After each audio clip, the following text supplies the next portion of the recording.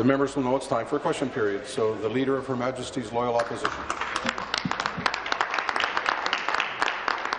Mr. Speaker, my question is for the Premier. No matter what this government tries to spin, the reality is this government is gutting health care. Right. In order to pay for Liberal government scandals, waste and mismanagement, they have made the choice to cut health care. 815 million taken out of patient care.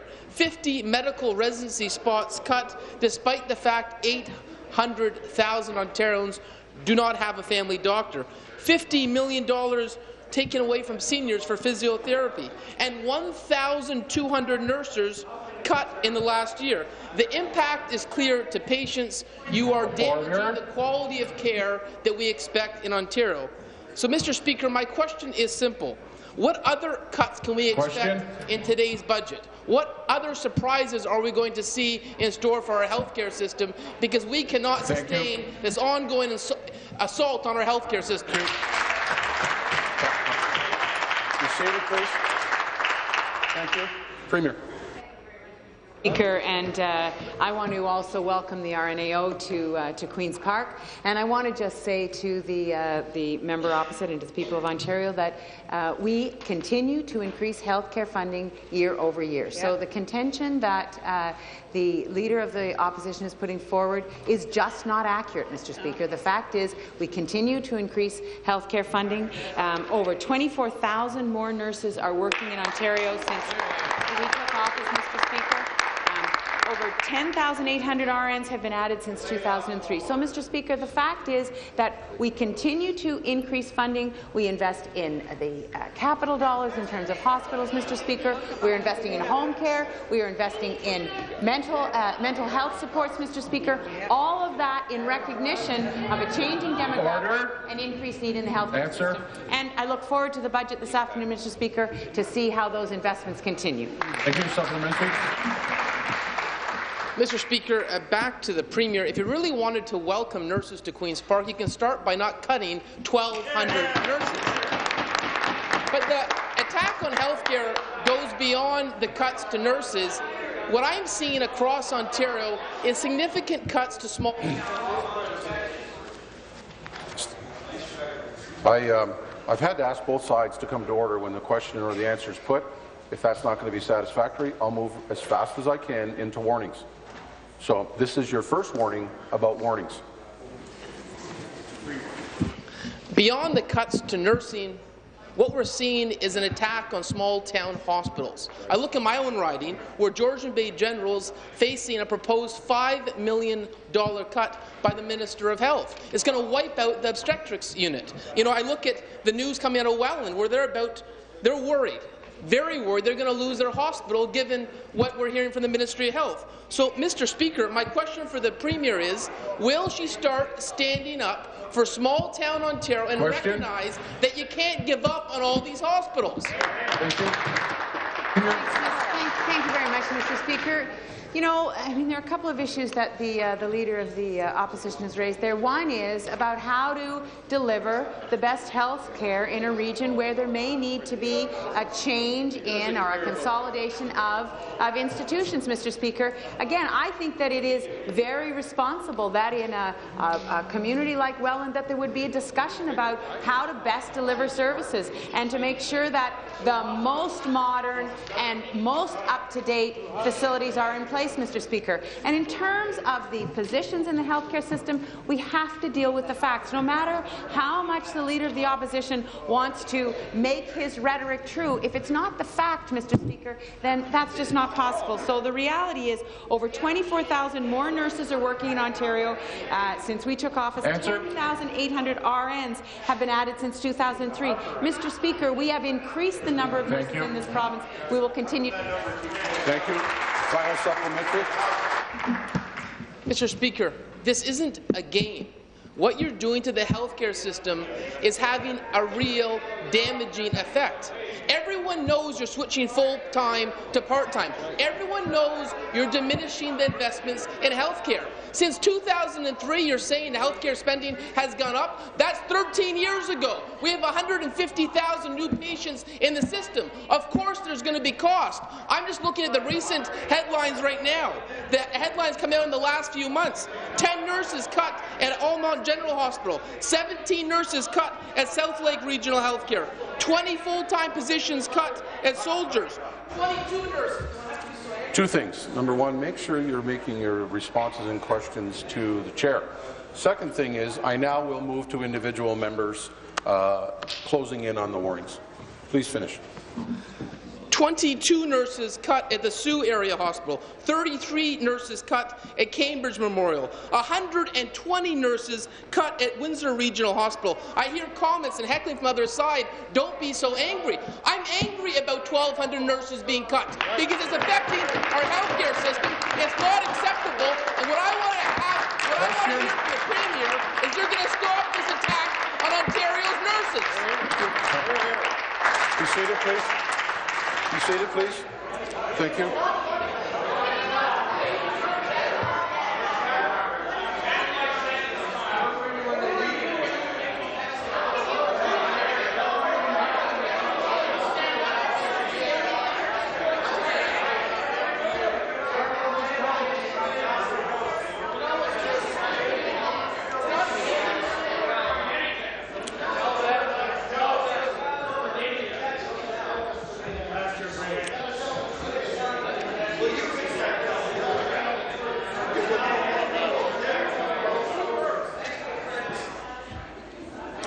From Beaches East York will come to order.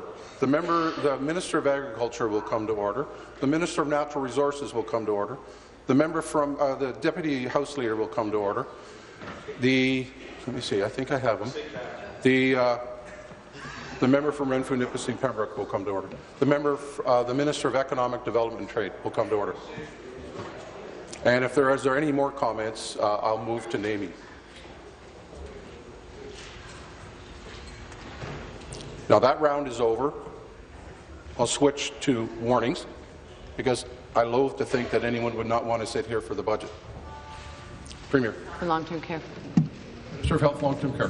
Thank you, Mr. Speaker. And what's damaging to Ontario's health care is the position of that party, Mr. Speaker, the position where they fired 6,000 nurses, where doctors were fleeing this province because they were so disrespected by the PC party, where they made a commitment, Mr. Speaker, in the last campaign to fire 100,000 workers, including 5,000 health care workers, Mr. Speaker. And frankly, what Ontarians should be angry about, Mr. Speaker, is that member's position when he was a part of a federal government.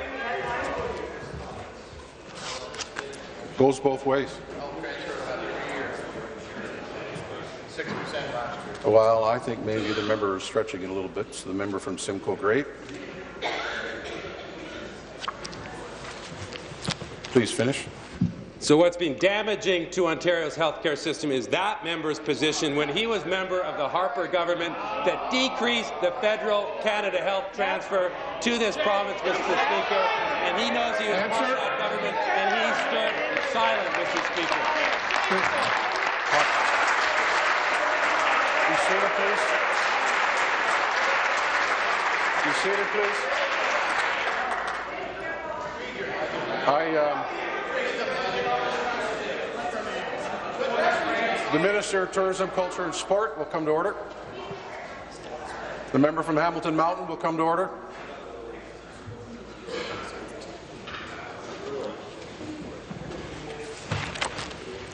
New question. The member from Leeds Grenville. Uh, thanks, Speaker. My, uh, my question is to the Premier.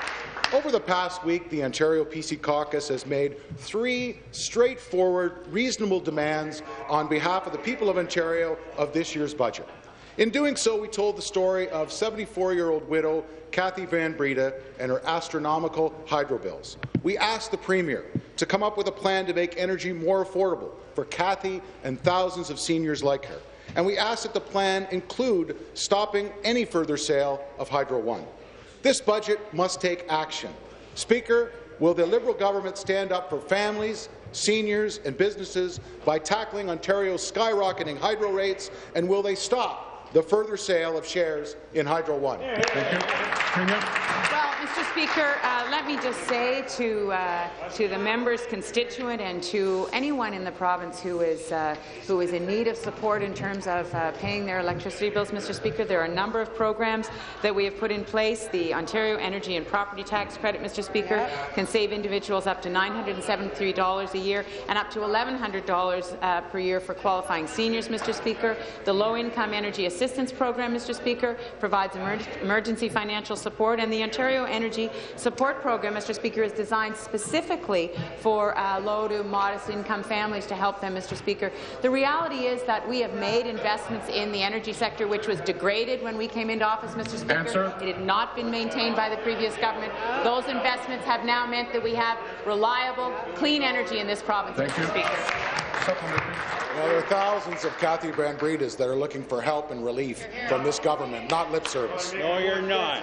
Back to the Premier. Secondly, we noted time and The time member again from Ottawa Orleans come to order. scandals, waste, and, and mismanagement is costing us funding for essential services. Most notably, we've seen how Ontario's government is no longer able to properly fund the healthcare system that families and seniors deserve. The government's cuts to frontline health care are well known, Speaker. $815 million cut to physician services, $54 million cut in the 2015 health budget, 50 medical residency positions cut, and $50 million cut to physiotherapy services for seniors. Mr. Speaker, will this government's budget re reverse the current and planned cuts to doctors, nurses, and hospitals? Thank you. Premier. Let me just, let me just, as I did yesterday, speak to the uh, to the um, requests that are coming from the other side. And I, you know, I've heard uh, a number of members speak to these three contradictory issues, Mr. Speaker. So I, I expect that the next uh, the next gambit that the member will take is on uh, eliminating the deficit, Mr. Speaker. So the reality is, we are increasing health care funding. We continue to increase health care funding, Mr. Speaker. We continue to hire health care workers. There are hospitals right now. One of the hospitals that the Leader of the Opposition mentioned, uh, Soldiers Hospital, that is posting to hire nurses, Mr. Speaker. So the fact is, the fact is that if you look at the changes, you have to look at the whole picture. You have to look at the hiring, Mr. The member Speaker, from Perth well. Wellington, In come terms to of order. Energy prices, Mr. Speaker, we have supports in place. Answer. We have programs in place to help people, and we're on track to eliminate the deficit, Mr. Speaker. So we're and we're tackling all of those things, not in the contradictory way that the opposition. Thank you. Final supplementary. And to the Premier. Finally, Speaker, I think uh, uh, we need to have a credible plan from this government to balance the budget, including immediate action to pay down the debt. It can't just be another Liberal stretch goal. If the government doesn't act, they're going to continue to cut health care funding. They're going to close needed schools. They're going to keep cutting services from our most vulnerable in this province. And just to make up for their scandal, their waste, and their mismanagement. Mr. Speaker, will the government finally stop living Minister of the in Environment. fantasy land and commit to a plan that will pay down our debt? Thank you. Mr. Mr. Speaker, we have had that plan in place. We have overachieved on our targets. We are on track to eliminate the deficit by 2017-18.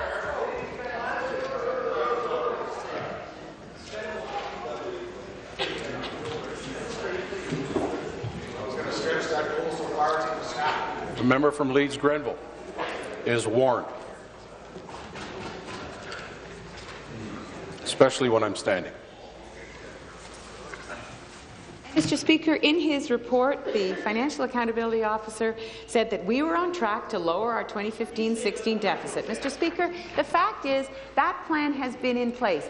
But the first impetus of this government, the first uh, imperative for us, Mr. Speaker, is to make sure that we continue to support the services that the people of Ontario need, that we continue to create jobs. The member from Prince Edward Hastings. The economy, Mr. Speaker, and the fact is Answer. the plan that we have, that we have been implementing to invest in the people of this province and infrastructure is working, Mr. Speaker. We will continue to im- implement that plan. I look forward to Answer. the uh, opposition's uh, response when we bring forward the budget, which is the latest installment you. in that plan. Question. The member from Bramalea, Gore, Malton. Thank you very much, Mr. Speaker. My question is to the Premier.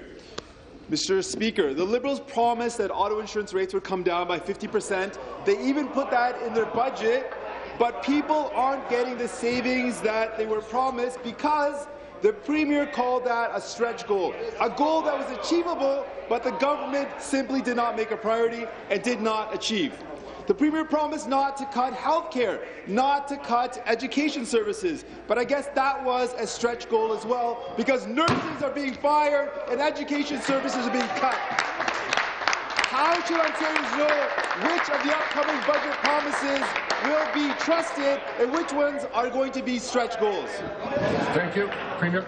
Thank you very much, Mr. Speaker. Well, uh, the member opposite knows full well that the uh, auto insurance rates on average across the province have gone down uh, by over 7 percent, Mr. Speaker. There are, there are some companies, Mr. Speaker, who have already attained the 15 percent reduction in, uh, in premium rates, Mr. Speaker. And it, it's an important goal for us, Mr. Speaker. We continue to work on it. We continue to work to get uh, costs out of the system, but we're not going to uh, put up with a situation where people can't actually find auto insurance, Mr. Speaker, because, uh, because uh, companies have left the field completely. We will continue to invest in health care, Mr. Speaker. You know, I would ask both the uh, member of the third party and the, uh, the opposition to look at where the hiring is happening across the province, Mr. Speaker. You have to look at the whole equation to determine Answer. how healthcare system is improving in the province and the healthcare workers who are uh, who are in place. Thank so, you. Mr. Speaker, I look forward to uh, the. Thank you. Supplementary. Mr. Speaker, it's shameful that there are fewer nurses per capita now, based on our population, than there were in 1986. Shame. I remember in 2014 asking the Premier about the sale of Hydro One, and she said to me, quote, we are keeping these assets in public hands, end quote. Of course, she's already sold 15% of that public asset. Now 15% of it is in private hands, and she's planning to sell off control. I guess it was a stretch goal to keep Hydro One in public hands. Can the Premier tell Ontarians whether this budget is going to show that even keeping that 40% was actually a stretch goal and now we're going to see all of it sold off? Mr. Speaker, let me just let me just be clear that we uh, we ran on a plan, Mr. Speaker. We're implementing that plan, and that plan is working. We said to the people of Ontario, we are going to invest in your talent and your skills. We're going to make sure that we have the most highly educated workforce in the world, Mr. Speaker. We said we're going to invest in 21st century infrastructure, the roads, the bridges, the transit, the water systems The member that we from Dufferin know are will come to necessary for economic growth. We said we are going to work with the private sector. Yes, we are going to work with business to make sure that we put the supports in place and we partner with them to bring business. The we member are from the Stormont, number one Dundas, South Glengarry, jurisdiction come to order. for foreign direct investment for two years in a row, Mr. Speaker. And we said we're going to ensure that there's retirement security in this province for everyone who has worked throughout their lives. That's what we're doing, Mr. Speaker. And you know, I would have expected that the NDP would have found a lot in that plan to recommend it to them. Thank you. I, I believe, Mr. Speaker, that it is Thank you. Stop. Be seated, please. Be seated, please. Final supplementary. Thank you, Mr. Speaker. I would like to see the, this Premier take, Mr. Speaker, that question that she ran on selling off Hydro One to the public and ask Ontarians if that's what they believe she ran on. Because I think she would get a very interesting answer to that question. People deserve health care when and where they need it. Students deserve an education that's second to none. People deserve to know that when this government says they're not going to sell a public asset, they're actually not going to sell off that public asset and instead give it to their friends and uh, hand it away without any sort of consultation. These are the fundamentals. This government is getting those fundamentals absolutely wrong. In this upcoming budget, will Ontarians see their priorities being addressed, like stopping the cuts to services, like stopping the sell-off of a public asset, or will it be more of the Premier Question. putting the interests of her friends instead of the interests and needs of the people of Ontario? So, Mr. Speaker, let me just uh, let me just continue uh, to. Um, emphasize to uh, illustrate why I believe that uh, the plan that we have put in place, the plan that we ran on, which in terms of the fiscal uh, foundation was exactly the plan the NDP ran on, Mr. Speaker, except they were going to take $600 million more out of, uh, out of services.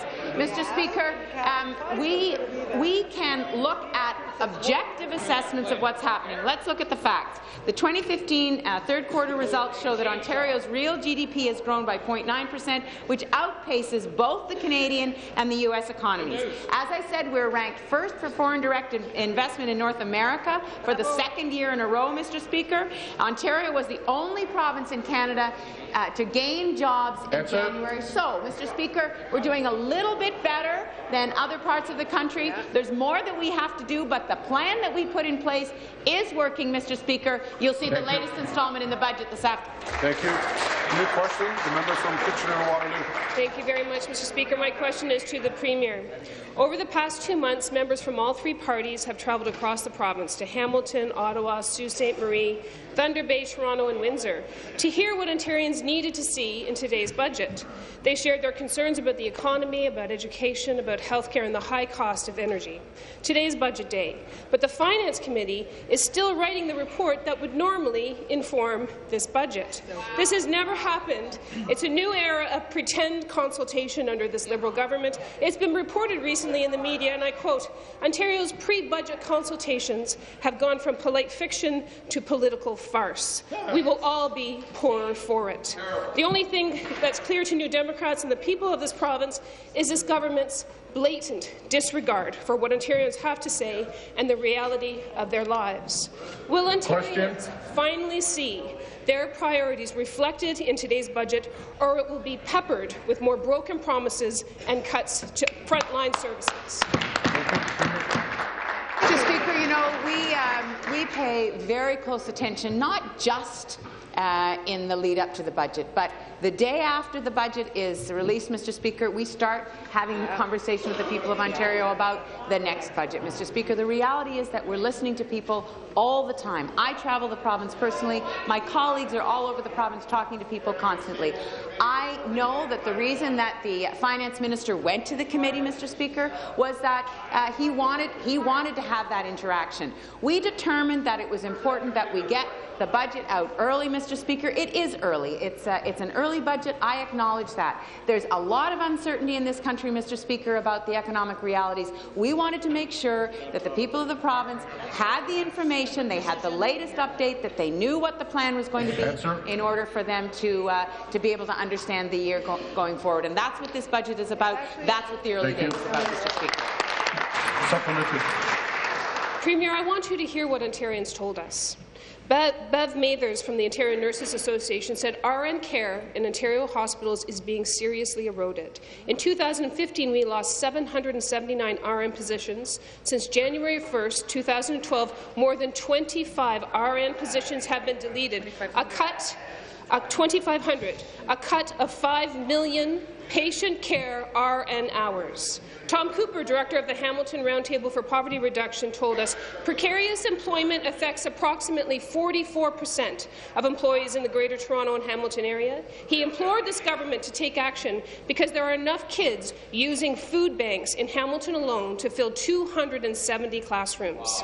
David Musyj, CEO of the Windsor Regional Hospital, where 169 RNs were just cut, told us Question. that their hospitals' hydro costs are increased by $700,000 just this year. Will Ontarians see their voices reflected in this budget today?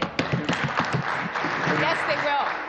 Yes, they will, Mr. Speaker. They absolutely will. And on the issues that the uh, member opposite has raised, Mr. Speaker, whether it is support for hospitals, whether it is the hiring of nurses, because the reality is that the member opposite doesn't talk about the nurses that are hired. She's not talking about the healthcare workers who are being hired. And in terms of precarious work, Mr. Speaker, I was surprised, quite frankly, that uh, that the NDP wasn't more supportive of the uh, the uh, support that we put in place for personal support workers and uh, developmental support workers and early childhood educators, Mr. Speaker, a direct increase to the salaries of those workers who have uh, been at the bottom of the, uh, the salary scale. I would have thought that in terms of precarious work, they would have been lauding that.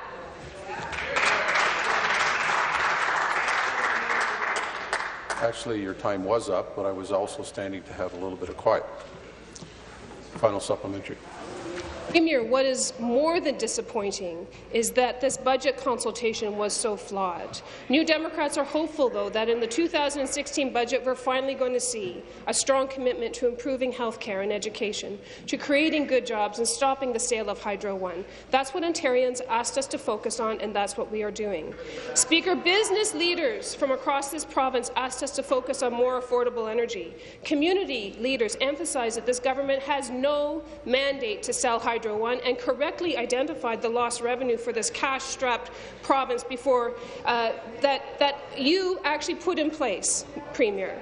Because the finance minister rushed this Chair, budget please. forward, he doesn't have the report that the finance committee is still writing. This government doesn't have all the information, and apparently you're not interested in getting any of this information from the people of this province. Will- Uh, You also need to watch for the chair. Again, a reminder to all members, you speak to the chair. In- You're speaking to people in the third person. It helps with the debate.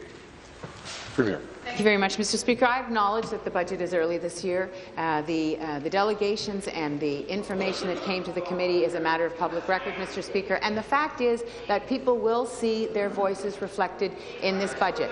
But, Mr. Speaker, I would note that the member opposite, in her, uh, in her uh, rant, in her, in her rhetoric, in her rhetoric, Mr. Speaker, and in the rhetoric that I heard from her uh, leader on the radio this morning, Mr. Speaker, said nothing, said nothing about the need, the crying need for infrastructure to be built in this province, Mr. Speaker, said nothing about the need to increase support for the roads and the bridges and the transit, Mr. member Speaker. from Hamilton you know, East this Stony member Creek. is from the Kitchener-Waterloo region, Mr. Speaker. She should understand how important it is that we have the resources to make the investments that are needed to make that corridor Answer. functional, Mr. Speaker.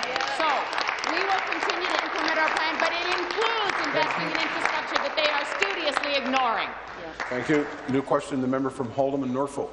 Premier, some of us are puzzled about media reports on today's budget, a budget being tabled uh, two months earlier than usual. In December 2013, a government panel proposed to hike gas taxes up to 10 cents a litre across the land.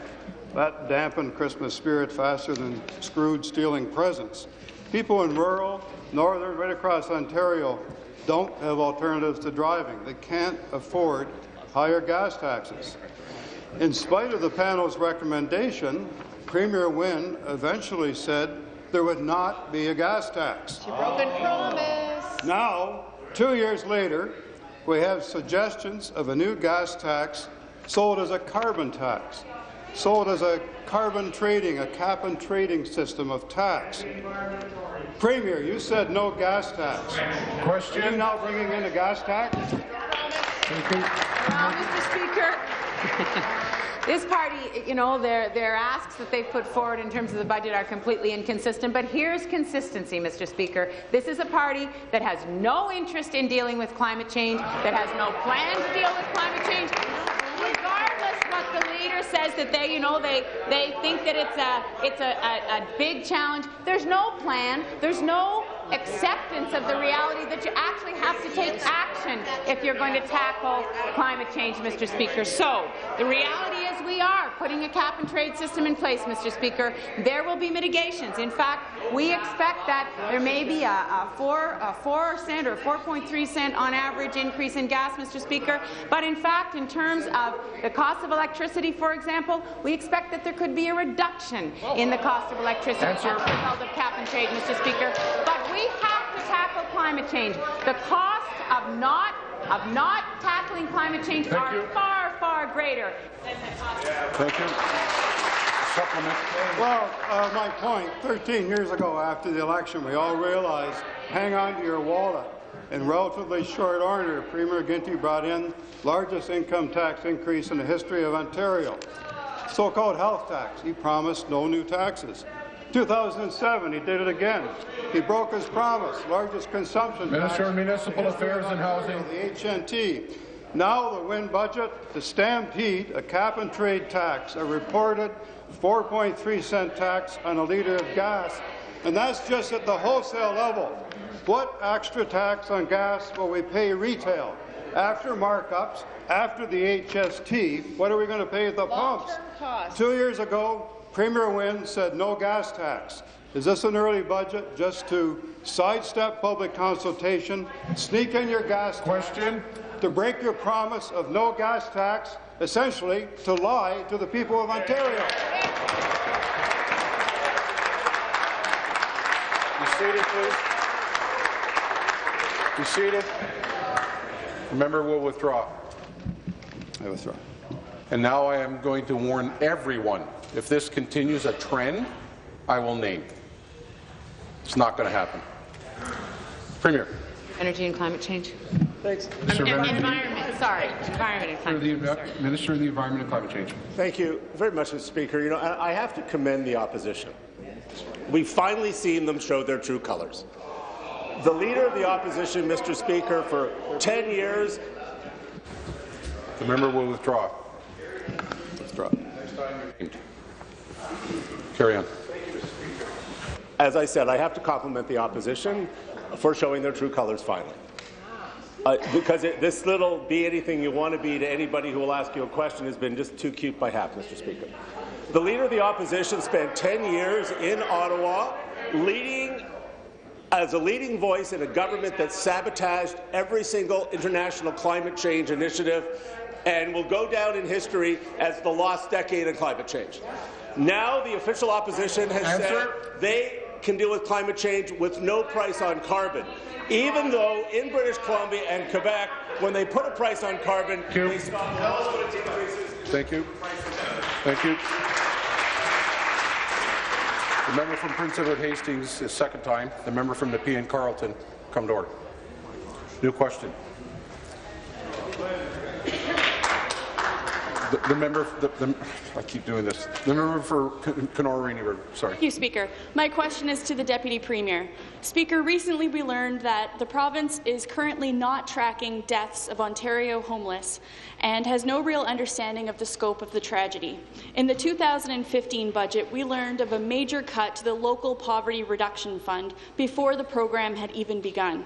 Speaker, the Liberal rhetoric and record on homelessness and poverty simply don't match up. My question is simple. Speaker, how can the government claim to be ending homelessness when they don't even have the necessary data to do so? Thank you, Speaker. Thank you, thank you for the question. I'm uh, very pleased to have the opportunity to, uh, to say that the Local Poverty Reduction Fund is alive and well and actually taking shape in this province. It's $50 million over six years. 41 organizations, uh, collaborations across the province are actually driving poverty reduction in their communities. There are some fantastic initiatives under that fund, and we're looking forward to the next round, and then we're looking forward to the third round, Speaker. So the Local Poverty Reduction Fund, and I urge all members to uh, be aware of what it is and to encourage their communities to participate in this. It's a very exciting uh, initiative to drive change based on evidence. Uh, Speaker, perhaps in the uh, supplementary, I'll, de I'll deal with the issue of homelessness. Thank you. Supplementary. Thank you, Speaker. Speaker, in pre-budget consultations, which the Deputy Premier should read since the budget was written at, without actually listening to Ontarians, Poverty Free Thunder Bay reported that in 2013, Deputy the House Leader, average second time. occupancy rate Member from Ottawa, of the homeless second shelter time. was 123 percent. This is unacceptable. Some grassroots numbers say the number of homeless deaths in the GTA alone are more than 800 people, many of whom are simply and tragically named John and Jane Does. The most vulnerable Ontarians are becoming invisible statistics in death. They deserve better from this government. Speaker, will we see more cuts to poverty reduction programs in the impending budget? Speaker, I know we're all looking forward to this afternoon where you will see a continued commitment to, uh, uh, to address poverty and homelessness in this province, Speaker.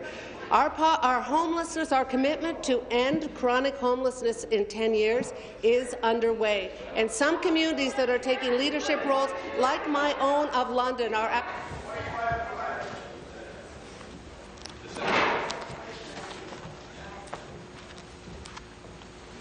Finish, please. We're actually seeing organizations like the Salvation Army converting their homeless shelter to supportive housing because they are with us on the notion that Homelessness is just unacceptable. We need to provide a place where people can live. Answer. It saves us all money. It saves our healthcare system. Member money. from Hamilton Mountain, second time. We will be better off when we have faced this problem head-on. Thank that you. work is underway. It's a bright future in this program. Thank you. New question, the member from Scarborough Agincourt. For the Minister of Health and Long-Term Care. Registered nurses play a valuable role in our Ontario healthcare system. As a former registered nurse and a nursing professor, I know nurses are the largest group of healthcare professionals who provide quality care in my riding of Scarborough Agincourt and across the province, in the hospital, in the community, correctional services, schools, long-term care, and retirement homes.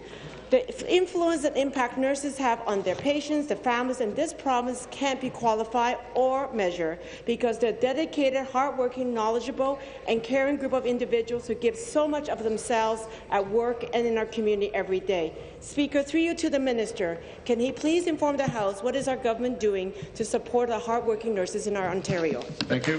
Minister of Health, Long-Term Care. Well, thank you, Mr. Speaker, and thank you to the member from Scarborough Agincourt for this uh, important question. I'd like to once again recognize the nurses that we have uh, with us today here in the gallery and uh, say yet again on behalf of all of us, welcome to Chair, Queen's please. Park. Uh, Mr. Speaker, I'd like to also say it's, how it's so important to hear from our outstanding healthcare providers in Ontario.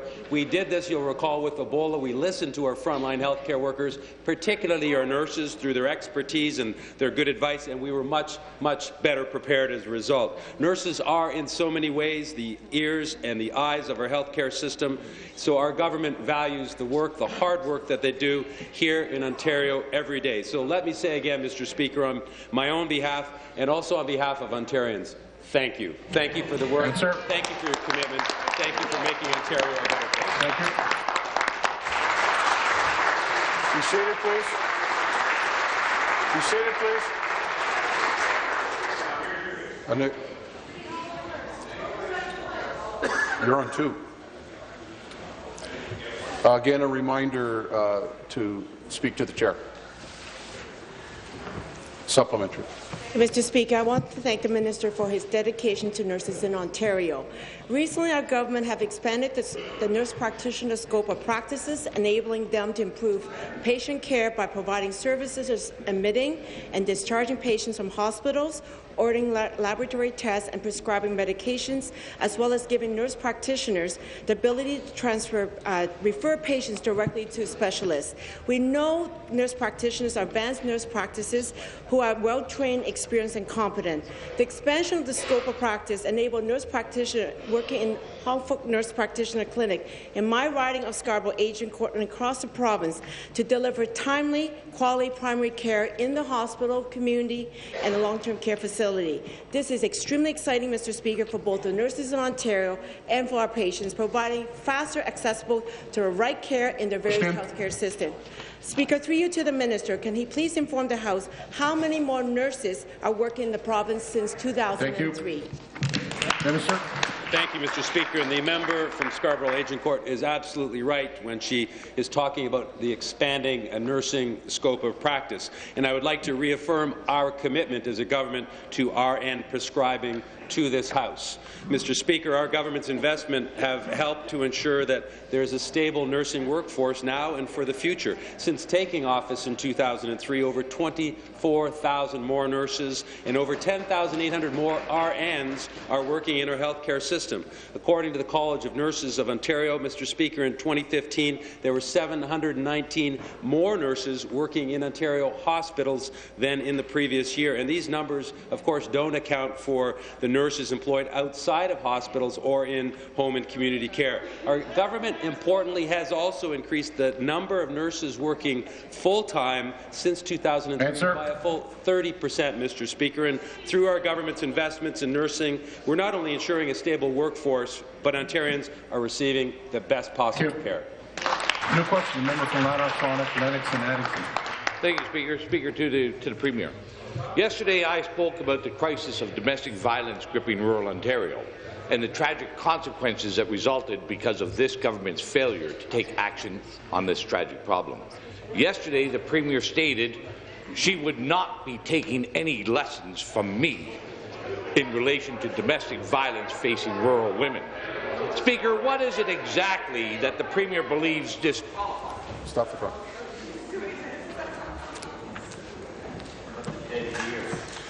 The member from Etobicoke North come to order.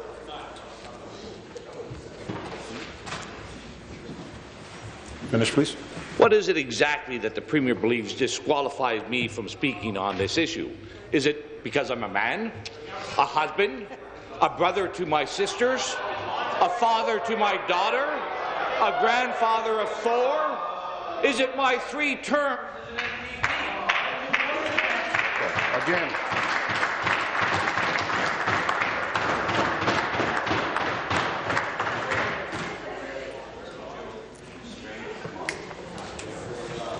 You have time to wrap up. Or is it my three terms as an MPP representing all issues and all concerns? And what exactly is it that this Premier believes disqualifies me and justifies her arrogant, condescending dismissal of me raising the government's failure? Thank you.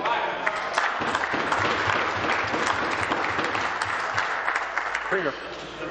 Well, Mr. Speaker, I will, uh, I will speak to what we have been doing uh, to, uh, to uh, um, address the issue of uh, violence against women, Mr. Speaker. I, you know, I'm, I'm very pleased when anyone in this House raises the issue. I'm especially pleased when, uh, when people find a renewed interest or a, a, Yes. um, a newfound interest in a- an issue, and this is one that is very, very important. It's important to all of us. It's important to men. It's important to women. It's important to our whole community, Mr. Speaker, that everyone in our society feels safe, that we have the supports in place. So um, our sexual violence action plan, It's Never Okay, speaks to that, Mr. Speaker. It's, it speaks to that commitment.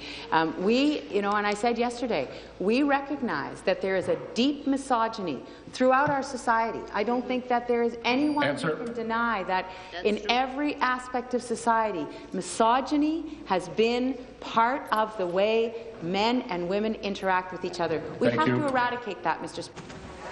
Thank you. Supplementary. Speaker, yesterday the Premier said she would not be taking lessons from me. And she won't answer that question today. This government is failing rural women and their families from keeping them safe and providing adequate support and resources. Yesterday she mentioned the 100 million, and I believe that's a fantastic step in the right direction. However, it does nothing to address those same failings for rural women and their families. And the thoughts on my inability to contribute to productive dialogue by the Premier is not something shared by her caucus or cabinet colleagues. Both the Attorney General and the Minister for Public Safety and Corrections have agreed to meet face-to-face with me to discuss these failings and to find solutions. Speaker, will the Premier have an epiphany today?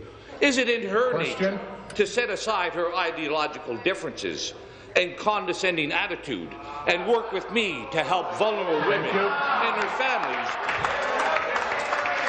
Thank you. Be seated, please. Be seated, please. Thank you.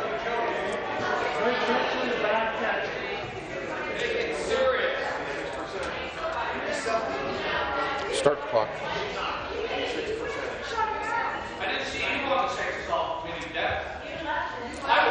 Order.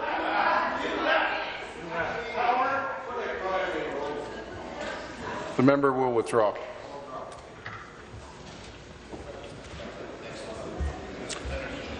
Don't test.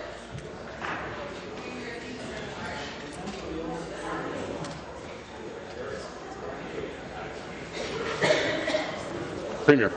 very much, Mr. Speaker. You know, um, Um, this is actually an issue that is way, way too important to all of us in society to let it devolve into uh, either a partisan or an acrimonious debate. The fact is, there are women who are being killed. There are women who are living in uh, violent situations. It is our responsibility to do something about that, Mr. Speaker. That's why we introduced our uh, sexual assault and violence plan. Mr. Speaker, I'm 62 years old. My whole life, my whole life, from the time I started kindergarten as the eldest of four girls, I have tackled in my own little way when I was five years old, but throughout my life, I have tackled the assumptions about what women can or cannot do. I have done it in elementary school, I did it in high school, I've done it throughout my professional career. I'll continue to do it, Mr. Speaker, and it is about all of us. The member, Member from Renfrew, second time. It is about every single one of us. But the fact is, we know that the more women we have in Answer. positions of leadership, like the, all the members here, the more we are going to tackle these issues of deep-rooted misogyny that Thank have you. been with us for centuries. Be seated, please. Be seated, please.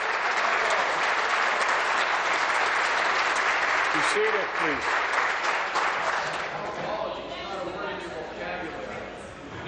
You're, uh, uh, you have an opportunity to not interrupt when I'm standing. New question, the member from Hamilton East Stony Creek. Thank you, Speaker. My question is to the Minister of Tourism, Culture and Sport. Last year's budget claimed that the Ontario Music Fund had created or retained 2,000 jobs in the first year alone. The minister subsequently told Billboard magazine that in the first year, the fund had been responsible for the creation of 2,000 new jobs. That's new jobs. But, Speaker, as is often the case with this government, the evidence sings a very different tune. The Ontario Media Development Corporation's own statistics show that just 263 new full-time jobs were created by the fund and another 569 retained. That's one quarter of the 2,000 claimed. Could the minister explain the jarring disharmony between the government's claims and its reported facts? Thank you. Minister of Tourism, Culture and Sport.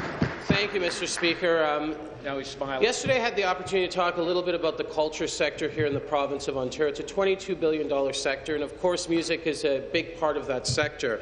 Um, we, as a government, uh, put forward a, a new fund, uh, the Ontario Music Fund, to really uh, allow for different artists here in the province of Ontario, different companies, labels, uh, to really uh, accelerate the work they're doing. We see this as an economic development piece, and we know the music sector here in the province of Ontario are creating thousands of jobs. They always have, and we're seeing a an increased acceleration of jobs here in the province of Ontario. We're seeing music that's being used now in our video games, in interactive digital media, music that's being used in our film, in our television. This is part of a huge sector that continues to grow, and I hope that the, uh, the members' office, offices support the culture sector and the music fund because we see it as a huge opportunity for continued ec- economic growth here in the province. Thank you. Supplementary. Thank you, Speaker. Uh, no answer again. Speaker, in last year's budget, the Ontario Music Fund was established on a permanent basis, while the Ontario Sound Recording Tax Credit was discontinued. The Ontario independent music industry expressed its concern that the change in support model from tax credits to a grant-based regime would unduly favour large multinational record labels at the expense of small Ontario producers. The data bears out this concern. Ontario rec- record companies were awarded grants averaging $115,000 each in the fund's first year and 144,000 in the, the fund's second year. But the three large foreign record labels, Sony, Universal, and Warner, received $5 million between them over the last two years. Could the minister explain why the Ontario taxpayer is subsidizing big multinationals at six to seven times the Question. rate of our own domestic producers, and will today's budget do a better job for protecting our own independent music industry in Ontario? Thank you. Minister. Speaker, the Ontario Music Fund is a fund that we are very proud of. as a government. It's a, a $15 million uh, fund that last year uh, we made permanent. This is a permanent fund embedded into our uh, budget. And, uh, Mr. Speaker, uh, when you have other provinces like British Columbia really copying our fund in order to accelerate their sector, I think that's a, a, a vote of confidence on our side. But let me tell you a little bit of a story, Mr. Speaker. The Weeknd. You know, international superstar from Scarborough, Ontario. Yeah. Mr. Mr. Speaker, on, when he first started, he accessed the music fund to help build his career. Right. And look at him wow. now. The guy just won a Grammy. Wow. You know, I think we should stand up for our artists here in the province of Ontario and stand up for the music fund because it will allow for this sector conti to continue to grow, Mr. Speaker. Answer. Thank you very much. Be seated, please. Be seated, please.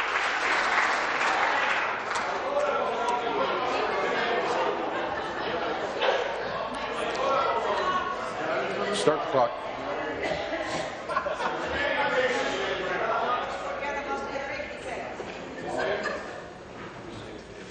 New question. Member from Sudbury. Thank you, Mr. Speaker. Mr. Speaker, my question is for the Minister of Transportation. Mr. Speaker, on Sunday, January 10th at approximately 3 p.m., the Nipigon River Bridge was closed to travellers due to safety concerns. We were all pleased to see MTO staff work quickly and decisively that day. And I know, Mr. Speaker, that we are thankful that no one was hurt during this incident.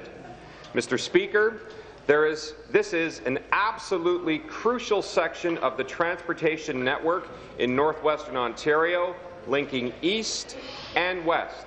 Mr. Speaker, I know the MTO crews have been working very hard to restore traffic to two lanes. So, Mr. Speaker, can the minister please provide members of this House with the latest information on the reopening of the Nipigon River Bridge? Thank you. Minister of Transportation.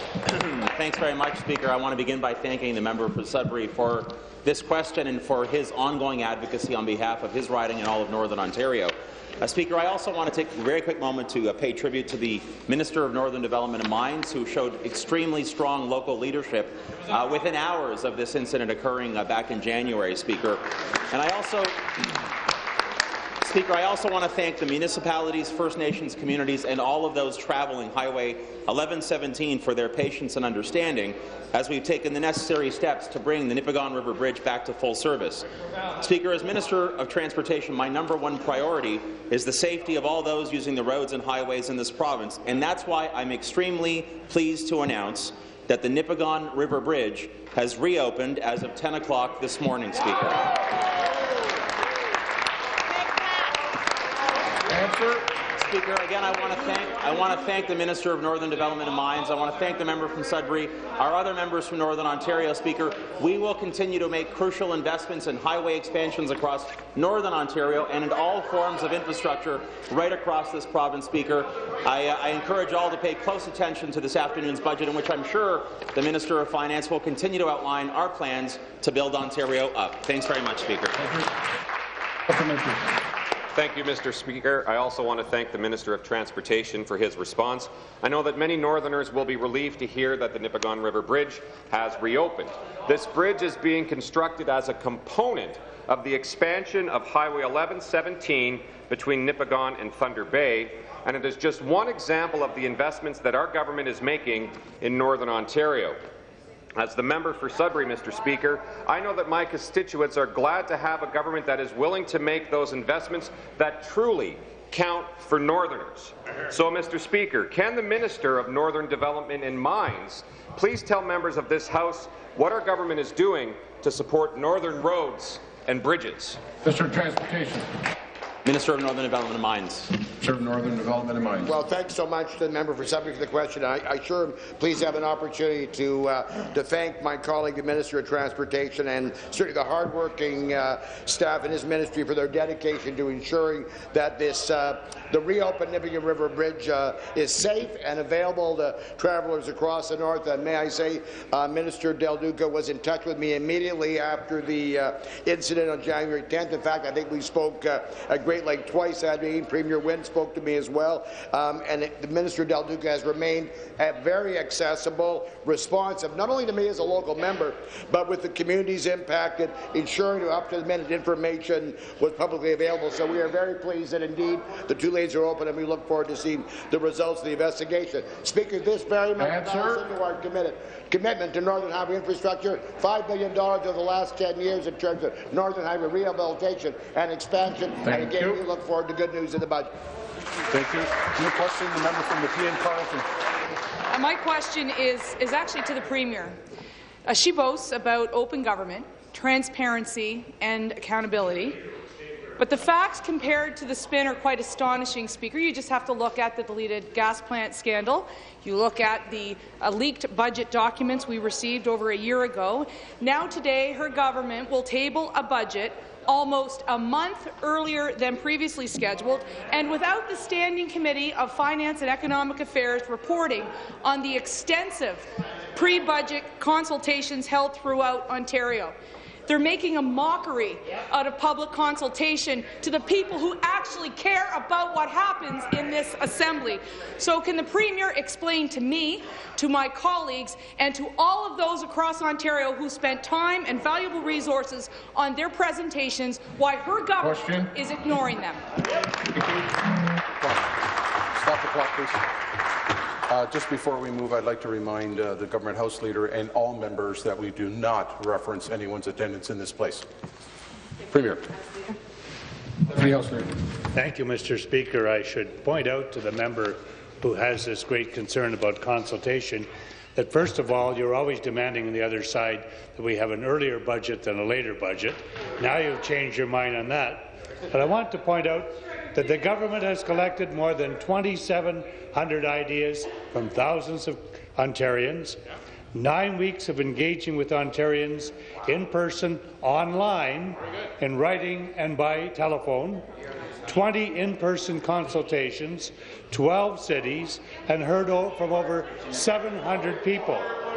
For the second year in a row, launched budget talks where over 6,500 Ontarians registered as users. That information has been very valuable as we continue this process, and those who voice their opinions will have those opinions taken into full account, and you will see you. that they've been reflected. Thank you. Supplementary. I'd actually like to go back to the Premier as much as I respect the Deputy Government House Leader. The reality is there were consultations that took place, formal consultations for this Assembly. The committee responsible for those pre-budget consultations hasn't even written their report. So you are basically uh, and effectively acknowledging that this is a scam. And I want to go back. You talk a lot about stretch goals, aspirational budget, revenue tools, all buzzwords like openness, accountability, and transparency. And the Premier may want to sit over there and laugh at the, at the opposition. She may want to laugh and thumb her nose at the public who can no longer afford her high tax uh, budget increases like we just saw. Let's talk about the Premier in the last elections campaigning against a gas tax and then just this week implementing one. They do one thing after they say they'll do another. It's a pattern of behaviour that I've seen over the past 13 years, winning at all costs and the public be damned. My question back to the Premier, will you admit the public interest you. isn't your interest? Thank you. I will, um, I will uh, gently uh, um, caution the member in the use of certain language that was used. I was listening carefully, and it was right on the uh, on the border. And if it gets used again, I will have to call it within a withdrawal. Uh, Deputy House Leader. Thank you, Mr. Speaker. First of all, I should correct the member. No one over here is laughing at the, those circumstances when people have a smile on their face. It's not an assumption immediately that they're laughing at anything that's coming from the opposition. I certainly would never laugh at anything the member from Nepean has to say in this House at all. Uh, I, I, I want to say, first of all, that the Minister of Finance invited the Minister of Finance invited members of the committee, including both finance critics, to meet to discuss what issues had been raised at the committee. The minister also attended the Standing Committee on Finance and Economic Affairs to join them for an open discussion. That's the first appearance I can remember since 2005 before the committee. The committee also provided the government with 124 documents and those documents and on the consultations. So the committee was monitored very carefully by the Ministry of Finance, and all of the opinions heard will be taken into consideration. Thank you. New question, the member from Windsor Tecumseh. Thank you, Speaker. My question is to the Minister of Municipal Affairs and Housing. Good morning, Minister. Speaker, we all know we are in crisis in this province when it comes to the availability of safe and affordable housing. We all know there are 80,000 people in Toronto on a waiting list among the 170,000 people in line across the province. Minister, the waiting list in Windsor is now at 3,000. Some of these good folks have been waiting seven years for safe and affordable housing. Speaker, would the minister agree this is disgraceful and it's time this government did something about it? Thank you. Well, Mr. Speaker, this minister would agree that it's time we did something about it, and I'm pleased uh, to uh, share a little bit about what's happening in that regard. Uh, one of the first things that uh, I did as uh, Minister of Municipal Affairs and Housing was to pull together an expert panel on homelessness, which the member opposite, uh, thank you for the question, by the way, is, is aware of. And we're also working very hard uh, on developing a new and update to our long-term uh, affordable housing uh, strategy, which I anticipate will be uh, released in the next uh, couple of weeks. I can also say it's not just Windsor and Toronto. Uh, Sudbury has the highest uh, highest waiting list it's had in years. Other municipalities as well. And our partners at the municipal level are raising the issue, as I am raising with caucus and cabinet. And uh, I'm looking forward to some assistance. Uh, and uh, I'm, partic- I'm looking forward to some assistance from, uh, uh, from perhaps from Thank our, you. our, our fin- Supplementary. Speaker, Windsor is at the top of the unemployment rate in Ontario. Small shelters, which were serving 20 meals a day, are now providing 200. Food banks are busier than ever before. Without housing, people can't look for employment. We're better off than in some places in the province because we have 8,700 affordable housing units. But they need more than $60 million in upgrades. Speaker, when is this government going to take seriously the crisis in safe and affordable housing in Windsor and right across this province? Thank you, Minister. Well, thanks, uh, thanks again. We announced just uh, about 10 days ago uh, an infusion of $92 million to assist with rehabilitation of, of housing uh, units. Uh, I could reference the largest contribution of any Ontario government uh, in history. Uh, I won't do that uh, in terms of affordable housing, or the number of number of units we've helped create. I won't do that, or the number we've helped uh, number of people we helped stay in homes. It's a serious problem. It's one that needs serious attention, and it's going to get that attention from this minister and. I'm hoping our, our government. The other piece of good news, the other piece of good news, the stars are lining up. Chair, please. Gotta listen. Stars are lining up. There's still some clouds in the sky, Mr. Speaker, which we need to move. For the first time in, in recent history, we have a federal government that's committed to working with the province and municipalities to develop a national housing strategy and to make sure that the homes uh, out there that are in need of a retro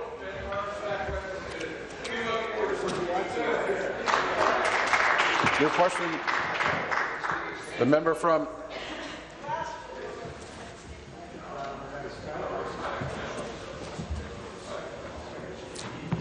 New question. The member from Etobicoke Centre. Thank you, Speaker. My question is to the Associate Minister of Finance. Minister, since being elected to represent my riding of Etobicoke Centre, I've heard about a range of issues from my constituents, and one of the issues that I hear about a lot is the need to strengthen retirement security. As a young person, I probably don't think enough about this issue, but I have heard from young people in my community, and more often than not, I also hear from seniors who I represent who hope that the next generation, their children, their grandchildren, will be able to enjoy the retirement security that they deserve and retire comfortably. And that's why I'm proud of the leadership that our Premier has shown, not just in Ontario but across Canada, in advocating for enhancements to retirement security, not just here in Ontario, but across the country. Minister, as you know, I also have a business background, and I have spoken to you and your staff on a number of occasions to relay what I have heard from businesses, uh, some of whom have expressed questions and concerns about the economic impact of the ORPP and the impact on business. Last session, I was Question. so pleased, Minister, when you committed to conduct a cost-benefit analysis to study the economic impact of the ORPP. Could you share with us what the analysis uncovered? Minister, Associate Minister of Finance. Thank you, Speaker, and I want to thank uh, very much the uh, terrific member from Etobicoke Centre for this important question. Mr. Speaker, last December, our government fulfilled its legislative commitment and tabled a cost-benefit analysis of the ORPP. This independent analysis was conducted by the Conference Board of Canada. The findings are clear. Accounting for all factors, the analysis shows Ontarians and the economy will be better off under the ORPP. The report found that the ORPP will have a long-term positive impact on sure. Ontario's economy. Sure. When factoring reductions in EI and WSIB premiums, disposable income will be $63.3 billion higher than the base case for Ontario's economy. GDP will be $62.7 billion higher than the base case scenario. As lower management fees associated with the ORPP will save middle-income individuals upwards of 43 percent.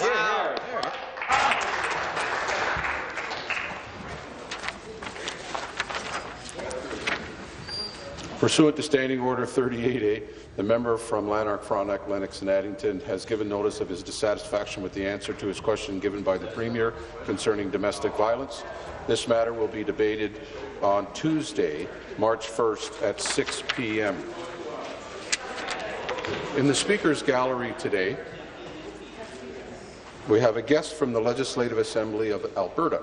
Please join me in welcoming the youngest ever MLA, Thomas Dang, from the, mem the member from Edmonton Southwest.